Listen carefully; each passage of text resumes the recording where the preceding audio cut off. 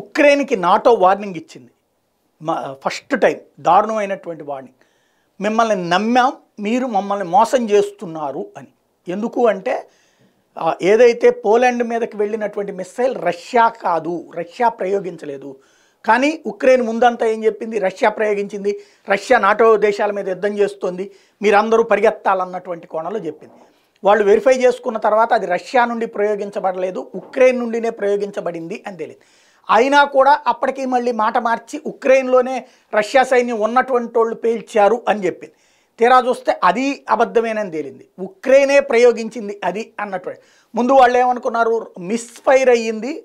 ఎందుకంటే ఉక్రెయిన్ వరుసపెట్టి రష్యాకి సంబంధించిన మిస్సైల్ని ధ్వంసం చేయడానికి ఆ ఆల్టర్నేటివ్ మిస్సైల్స్ని ప్రయోగిస్తోంది. అందులో ఏదో పోలాండ్లోకి వచ్చి పడింది అని భావించారు.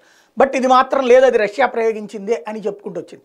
దీంతో ఇప్పుడు మమ్మల్ని నమ్మించి మోసం చేస్తున్నారు మీరు. వాస్తవంగా ఉక్రెయిన్ కావాలనినే పోలాండ్ మీద అటాక్ చేసింది అనమాట తద్వారా పోలాండ్తో పాటు నాటో మొత్తం రంగంలోకి రావాలి.